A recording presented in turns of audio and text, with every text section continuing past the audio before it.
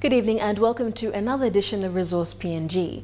Tonight we speak to Greg Anderson, the Executive Director of the Chamber of Mines and Petroleum, John Gooding, the Managing Director and CEO of Highlands Pacific Limited, and Peter Taylor, the Chairman of Bougainville Copper Limited. But first we speak to Greg Anderson about the Chamber's reasons behind facilitating the first Mining and Safety Conference in PNG. Greg Anderson, thank you for joining us on Resource PNG. Thank you for inviting me. The um, Mine Occupational Health and Safety uh, Conference, the first of its kind that has been organized by the Chamber. Uh, could you give us some background about what the thinking was behind the conference?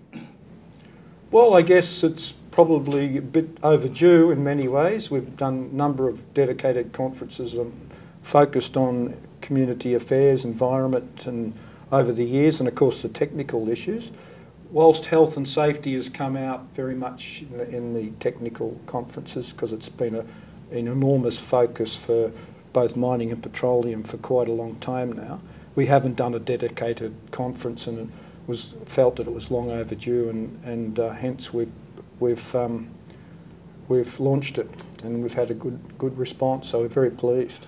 One of the focuses on, of the conference obviously is employee health. Um, obviously the industry is going through a downturn and many employees might be having concerns, about their jobs and all this stuff. Now, eh, from the industry perspective, uh, what sort of policy support do you uh, expect from the government given this downturn in commodity prices and the problems, for example, Barrick is having with, for example, the uh, 5.5 billion write down of the Pascua-Lama uh, project in Chile, and then you have Newcrest with its five, uh, six billion dollar write down as well. So, what what are you looking at the government for at the moment?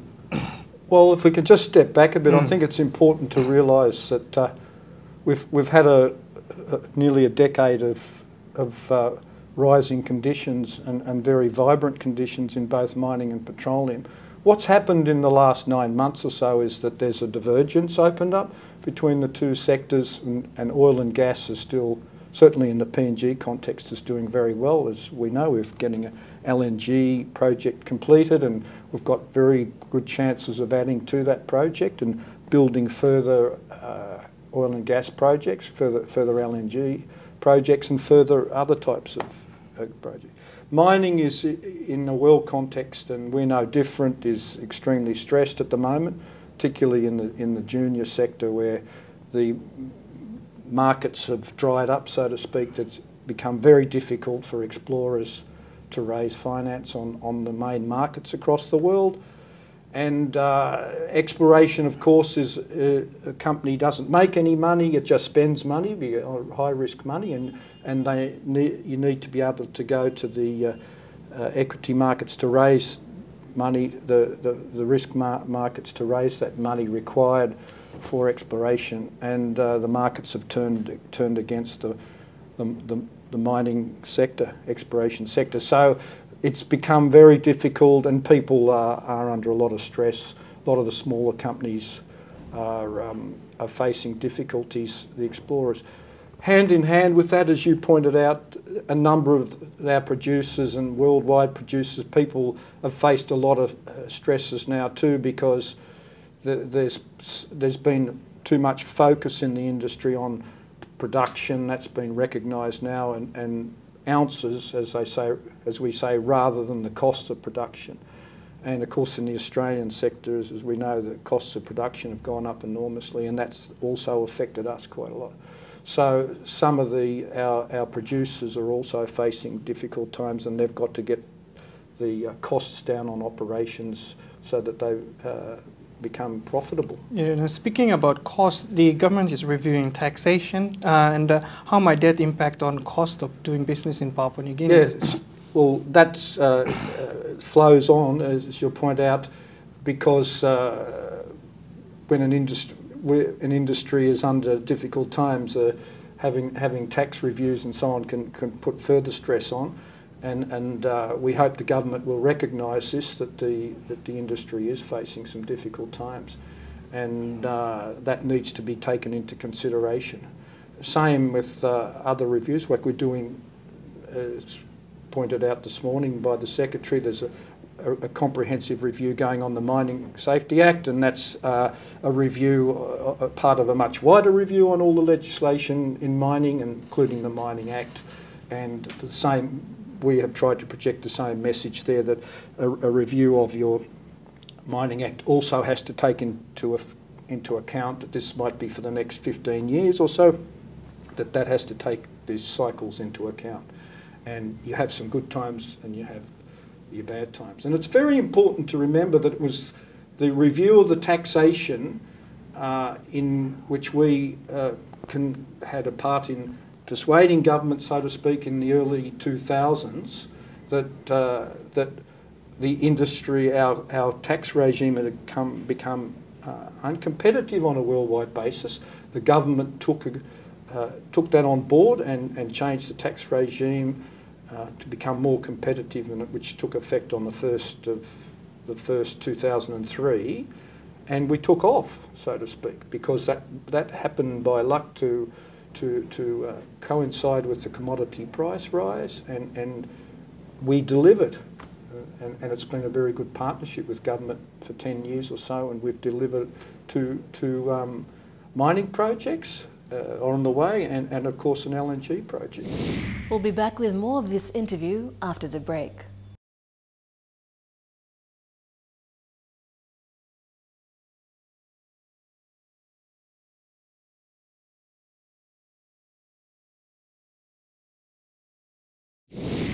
The Chamber of Mines and Petroleum is in support of the Extractive Industries Transparency Initiative, EITI.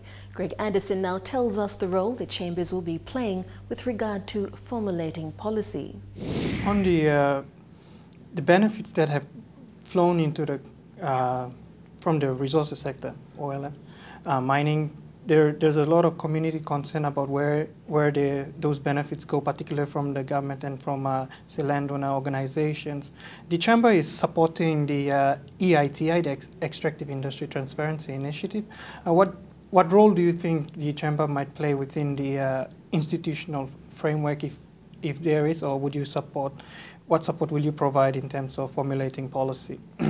well, it's a very important issue to us, EITI, and We've been a strong supporter of it for a number of years, publicly, the Chamber.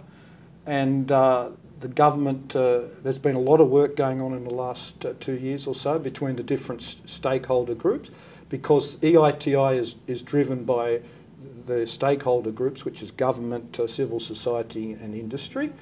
And as you probably know, the, the Treasurer recently went to the international, the global EITI conference in Sydney and announced that uh, PNG would be lodging its membership by the end of the year.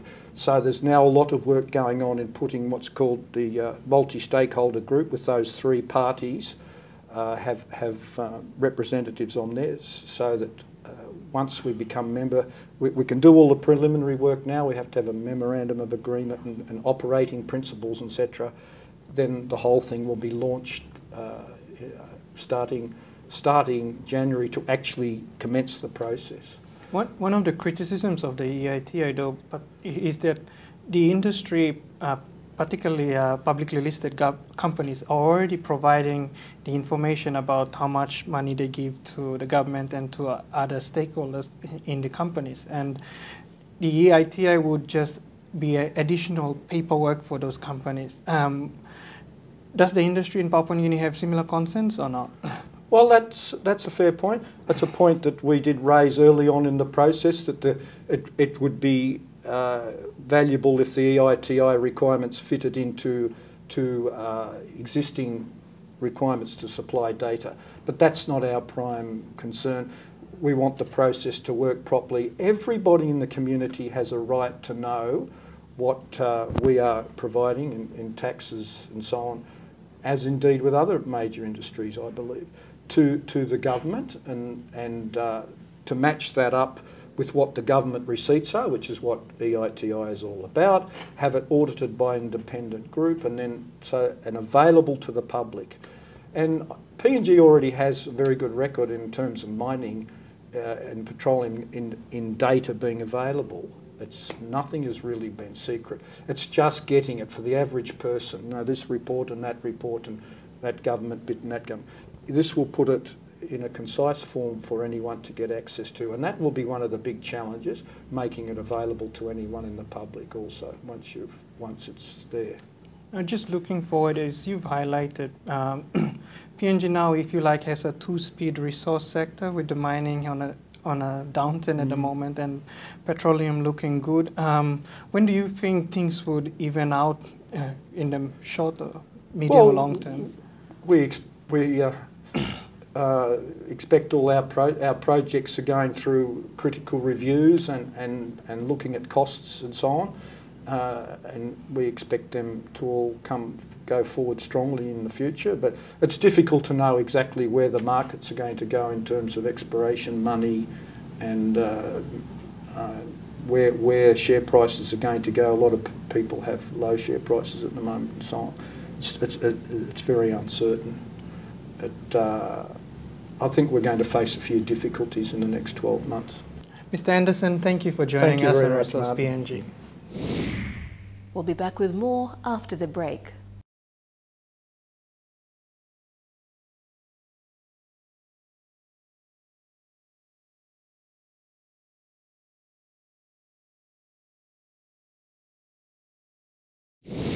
You're back with Resource PNG.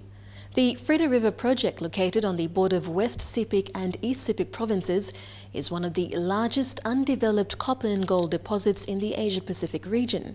Currently, a feasibility study is underway and production isn't anticipated until 2018. Here's John Gooding, the Managing Director and CEO of Highlands Pacific Limited, to talk about the current progress with the Frieda River project as well as other ventures the company is involved in. Mr. Gooding, welcome to Resource PNG. Thank you, Martin. We begin with uh, the Frieda River situation, your partner Glencore Xstrata has done a feasibility study, and could you inform us on the progress on that? Yes, I can. I can do that, Martin. Um, we, we, have been in a joint venture with Xstrata up until the end of um, 2011, when Xstrata were due to uh, provide us with a feasibility study. So they they paid for all that and free carried Highlands. It was our project originally. Um, they've spent they spent about two hundred and eighty million dollars on it, US dollars. Um, at the end of 2011, we were concerned that um, that the execution model hadn't been optimised properly, so they didn't look at some of the things that we wanted them to look at. So during 2012, um, we agreed to, uh, or Xstrata agreed to provide more information for the feasibility study. Um, and at the end of 2012, um, we received that documentation. Um, we still believe in, in Xstrata by their own um, um, admission that there needs more work to be done yet. So we think there's probably another year's work to be done yet. Um, in the meantime, there's been a takeover. Glencore have, and Xstrata have merged, and Glencore have made it quite obvious that they uh, don't want to develop uh, greenfields projects, uh, and that includes Frieda River and Tampakan. And they have also reached agreement with the Chinese authorities, um, Ministry of Finance, when they're doing the merger um, agreement to um, offload some of their assets. So, uh, as we understand it, they're um, in the process of looking at offloading Frieda River. Or their so, share so, so, so does River. that mean that you might potentially have a Chinese partner in Frieda River? Look, I, I, guess that could be on the cards, um, uh, and, and, we hope to find out shortly because um, uh, we do have a preemptive right over the remainder of the equity in, in Frieda River, and um, we at least think that we'll be notified who a potential purchaser might be. Um, uh, I guess the, the, the uh, Chinese party could be interested in it. I mean, it's a wonderful project. Yeah. No, project itself has taken decades to come to feasibility stage, and uh, now we're everyone's sort of anticipating construction. Where, how, how far ahead are we looking oh, again look, I, for that? Well, as I said earlier, there, there needs to be more work done, um, and we believe that probably a year or 18 months more feasibility work. Technical work, design work needs doing uh, to firm up costs. Um, but you know, you'd still like to think that it could be producing in 2018. One of the difficulties, as, as noted by the feasibility studies, has been the uh, energy requirements. Uh, now, there's been talk, talk around of potentially getting it from Western Province, Stanley, and then mm -hmm. via the Ok Tedi uh, route over to Frieda River. Has that been uh, factored in? Um, look, there, there are two options that are being looked at at the moment. One is a hydroelectric dam. Um, this, this project will need about 200 megawatts of power, a lot of power. Yeah, um, I think the PNG national requirement is currently at 54 megawatts, so that's quite yeah, massive. right, yeah. So, so the original um, uh, proposal was to build a hydroelectric power station. Uh, since the development of the Stanley field, um, it seems to make a lot of sense that we utilise PNG's resources. Um, you know, the land landholders will get something out of it, the government will get something out of it, and it's in close proximity to, to Booble. Um, you know, the Western Province, which is developing. So um, that's certainly an option that that has been looked at and will be developed further.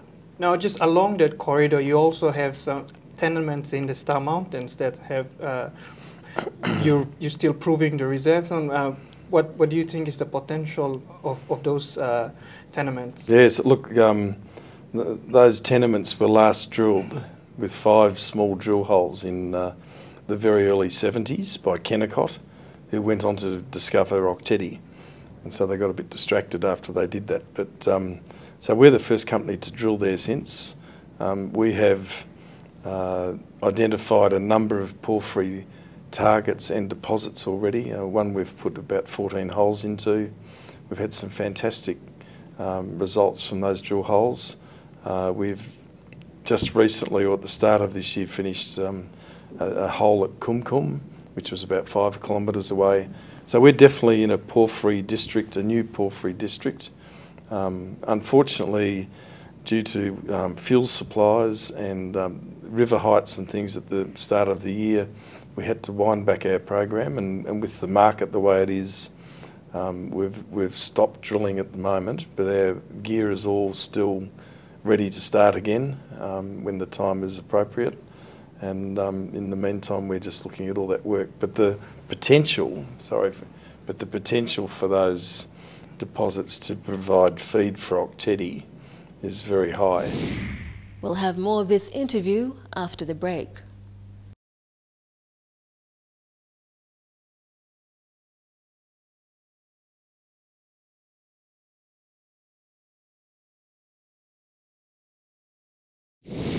Thanks for staying with us on the show.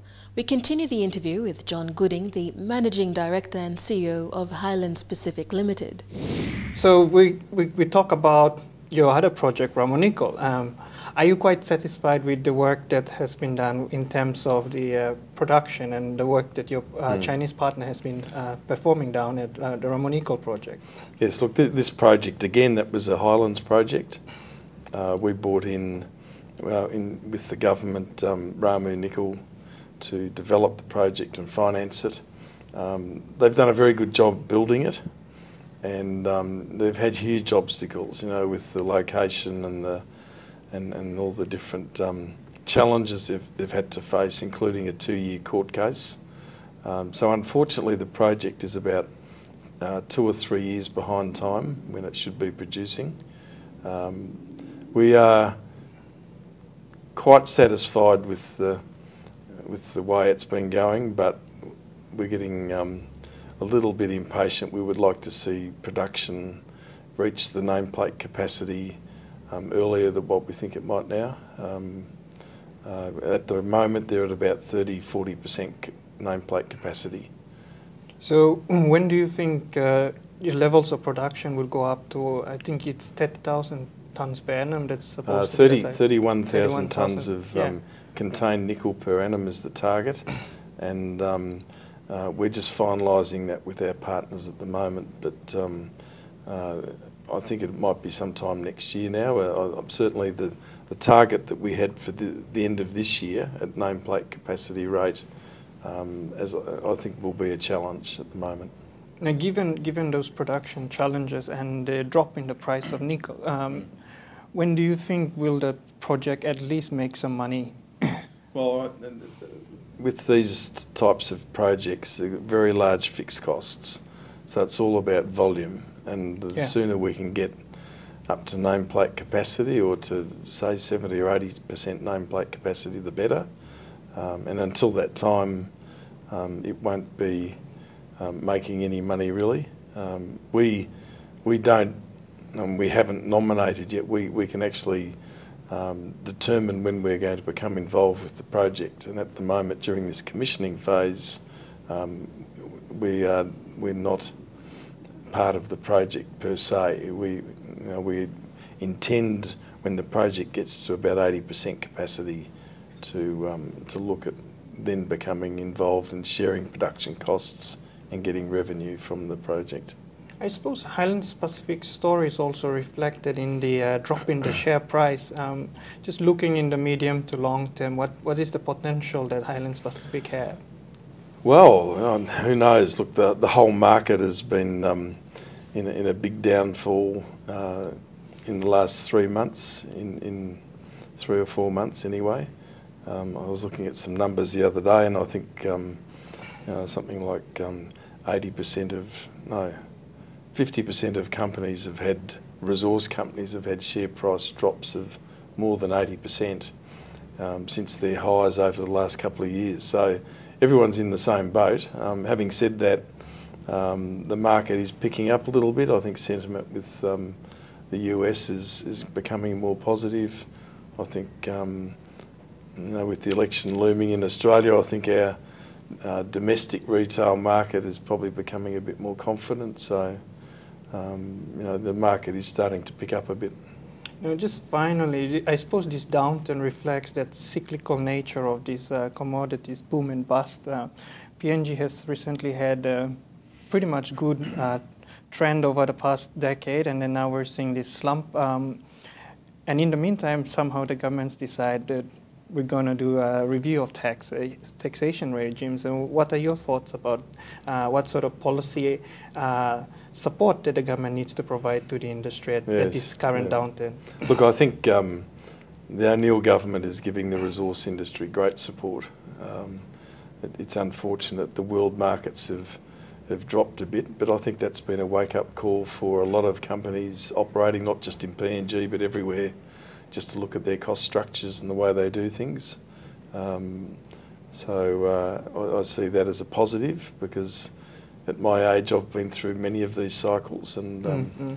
and when it goes down it will come back up again. It's just a matter of when. But so um, now the government's support for the mining industry, resource industry in PNG is important. Um, I think it needs to understand that um, it is very expensive building resource projects here in PNG, um, just due to the lack of infrastructure, and uh, and the government's certainly determined to try and improve that. And, uh, and of course, the uh, the benefits to the country are immense. It's still the the best industry to take PNG forward. Uh, and, and assist with developing health and education, all those things that come with developing projects. Mr. Gooding, thank you for joining us. Thank you. We join Peter Taylor when we return.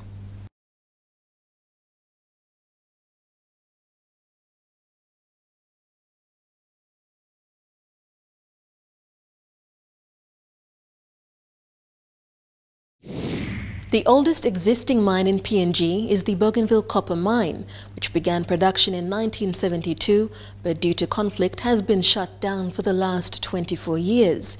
In our next interview, we talk to Peter Taylor, the chairman of Bougainville Copper Limited, and find out what negotiations are underway with the autonomous Bougainville government to reopen the mine. Peter Taylor, thank you for joining us on Resource PNG. Thank you for having me. Now we begin with Bougainville. It's been 24 years since Panguna has been shut down, and in recent times there has been growing interest on the island by the autonomous government and the people of Bougainville about reopening Panguna. What is BCL's view on the progress that's happening regarding Panguna? Well, it, it is very exciting for Bougainville Copper. The the um, support we're getting from the community for the reopening of the mine has just increased tremendously in recent times. So it's, it's quite exciting actually, the prospect of actually getting the mine opened again in the, in the not too distant future. I understand negotiations between BCL and the autonomous government are progressing well. You've recently had meetings with them. At what stage are the negotiations?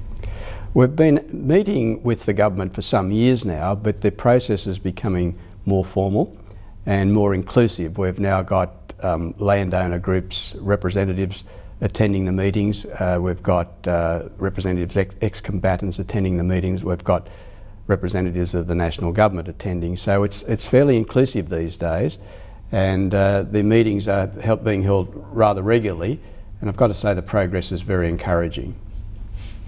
Now, with regards to the government, what, what is BCL's feeling about the way ABG has approached the resumption of mining on the island? The, the ABG has been very supportive and very helpful. Um, the, the government and President Momis have made it very clear to everybody that the, they see uh, the economy of Bougainville in the short to medium term being very dependent on a major project like the mine ring opening. You've also mentioned that Panguna landowners have come to the table to uh, have talks with BCL and the ABG. What sort of discussions are you having with the landowners? Well, firstly, uh, the inclusion of the landowners has been a a long-term uh, requirement as far as BCL is concerned in starting negotiations because without the landowners and the landowners being full participants, there's not much point really in taking the matter much further. Uh, the Bougainville government has been very helpful in um, getting the, together the various landowner groups and they've now formed, the landowners have now formed a combined group and elected themselves a chairman. So they're now full participants in the negotiations that we've been having. These are early days. We're still working out effectively the agenda we need, we agreed between all of the parties to follow. Um, we will initially be looking at some studies to uh, look at the, the, environmental questions, the uh, social issues in the mine area, um, what needs to be done in terms of community development, We'll, uh, we'll get round to talking about compensation, which, is, which has been an issue for some time. So there are a range of matters, but as I said, it's reasonably early days, uh, but the progress has been really good.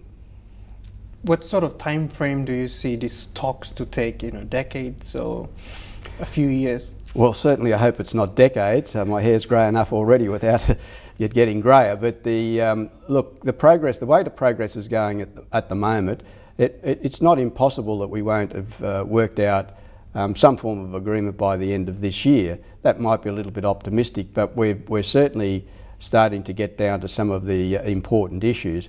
Uh, one can't estimate the, shouldn't underestimate the, um, the complexity in the negotiations. For example, we have to work out uh, legally what the mining regime might, might be, uh, land ownership issues which are on the agenda, obviously the technical issues, the environmental issues.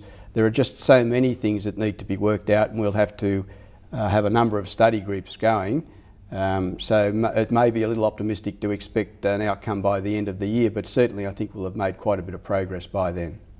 Obviously, the complexity of the situation is reflected also in the diversity of the views being expressed, both for and against the resumption of large-scale mining on Bougainville, given the history. Um, what's, what, what sort of things are you hearing from the communities? Uh, what's happening now is typical of what happens when a new development, the mining development starts. Um, the community obviously has concerns about what the project will mean for them, um, what, uh, what the downsides might be, what the upsides uh, should be, and uh, without the upsides uh, being greater than the downsides, maybe they, they don't want the project to go ahead and you will get a range of views, and you expect it. I mean, I'd be worried if everybody was saying this is wonderful. Um, we need to know what the people's concerns are so we can address them. So I encourage people to come forward and say uh, what they think might be a problem for them in respect of reopening the mine. Um, but by and large, there, well, at least in this case, there's been some experience. Some experiences that we've had in the past haven't been good, but some have been wonderful. For example, take the training facility we had at Bougainville Copper when the mine was operating, it was probably the best training facility, technical training facility in the Pacific outside of Australia and New Zealand. So that there's those positives, there's health uh, centres, there's educational facilities, uh, there are community facilities like uh, reticulated clean water, electricity, all of those things we will be looking at in addition to just the mine operation itself.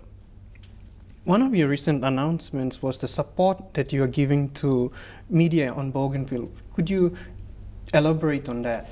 Yes, well, that's being done through the Bougainville Copper Foundation, of which I'm also chairman. Um, uh, Bougainville Copper Foundation has been largely funded by Bougainville Copper uh, since its foundation. But we think it's very important, both at BCL and in the foundation, for, for all of the people of Bougainville to have access to information um, about the, the mine reopening, obviously, but just generally. They need to understand um, you know, what their government is doing, what the national government is doing with respect to Bougainville. They need to know, for example, you know, issues concerning uh, the possibility of the upcoming referendum on independence. So um, at the moment, uh, the the, the facilities for radio transmission are largely confined to the Buka area. Uh, of course, you can get shortwave radio and so on, but uh, for local radio, what we've decided to do through the Bougainville Copper Foundation is upgrade radio reception to all of Bougainville, and we'll be doing that through, uh, at this stage, we're proposing to do that through satellite. Stay tuned for more after this break.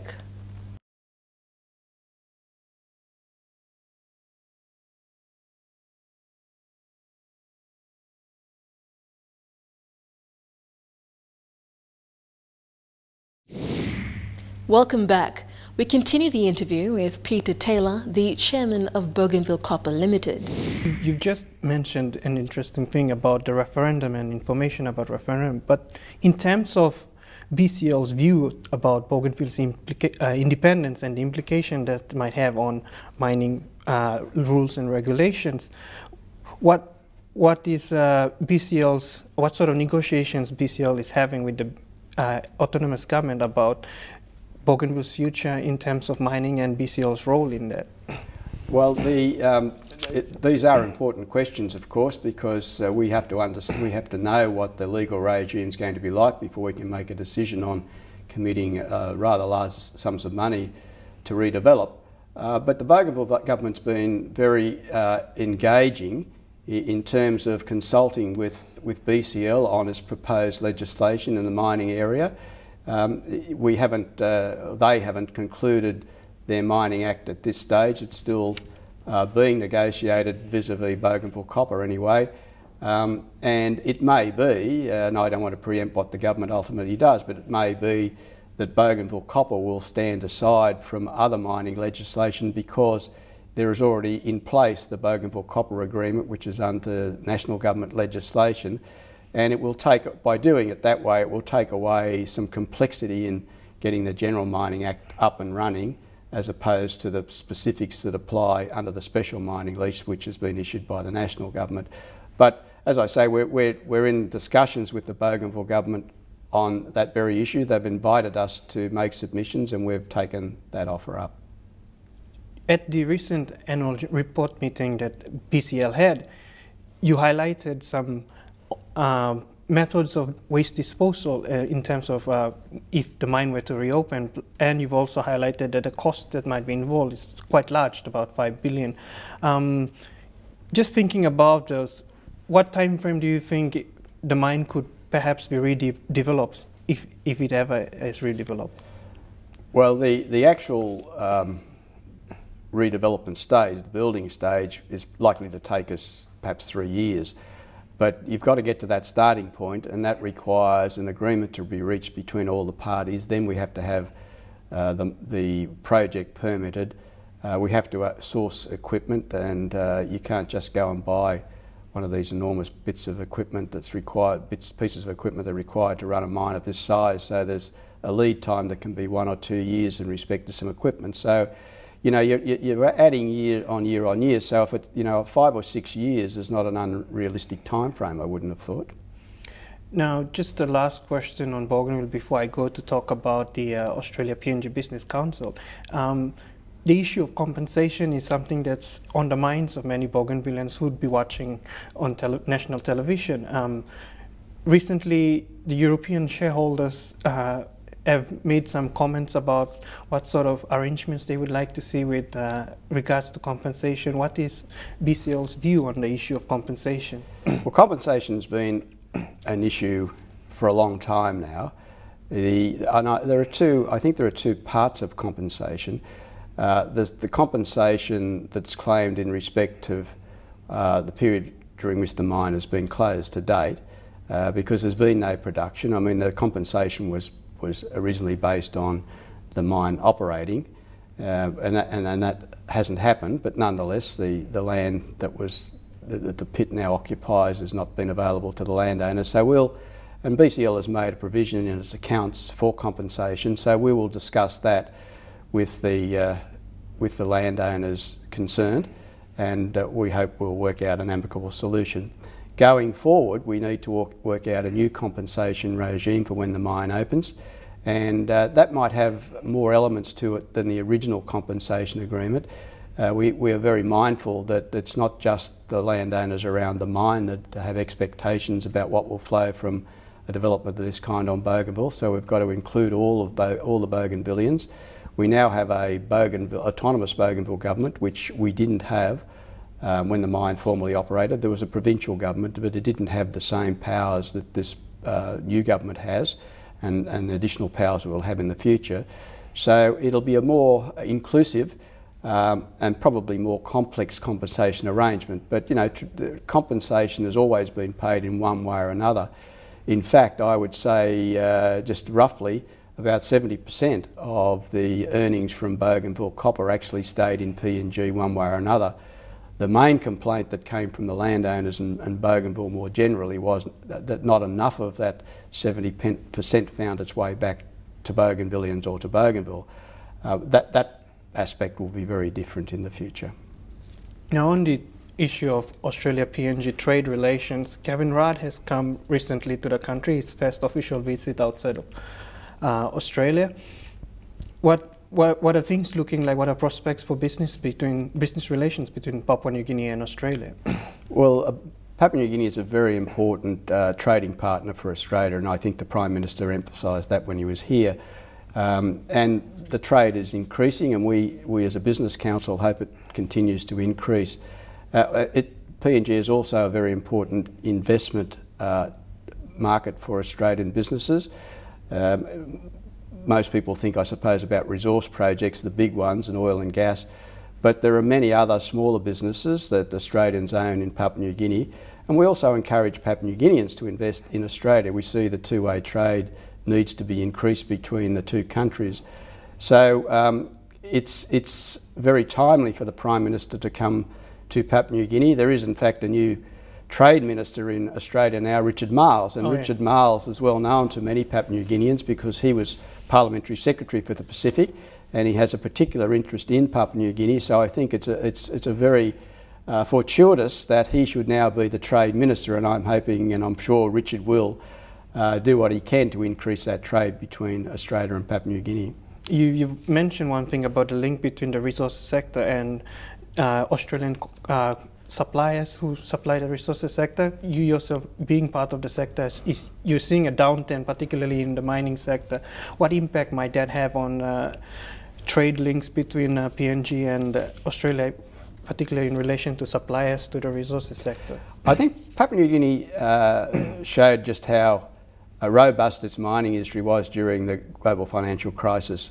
Uh, there weren't too many economies in the world that either stayed on an even keel or their economies actually expanded. Papua New Guinea was one of them. And uh, when you look at the, the uh, commodities that PNG produces, I think that's the answer. I mean, gold, uh, you know, even at 1,200 or 1,300 or $1,400 an ounce is still a pretty good price compared to what it used to be. Copper prices are high. Uh, you have very, uh, very desirable commodities like oil and gas that the international markets want. So um, there are still plans for mining projects to be developed here in Papua New Guinea, where in other places they're either being put on hold or just cancelled. So I still think there is a very bright future for, the, for PNG in the resources sector. And um, as resource, uh, major resource developments are built, that also then opens the way for other smaller businesses, as, as you've said, uh, support, the, support the mining industry. And it's those smaller businesses where the opportunities are for PNG investors, uh, for uh, small and medium-sized companies from Australia to get involved in, and, uh, and they are the big employers, and that's very important, increasing uh, employment opportunities for Papua New Guineans. Peter Taylor, thank you for joining us on Resource PNG. Thank you. That ends this edition of Resource PNG. If you have any comments or queries, do email us on this address resourcepng at emtv.com.pg or to find out more check EMTV online that's www.emtv.com.pg and go to our Resource PNG page or you can check our page on Facebook. Until the same time next week, bye for now.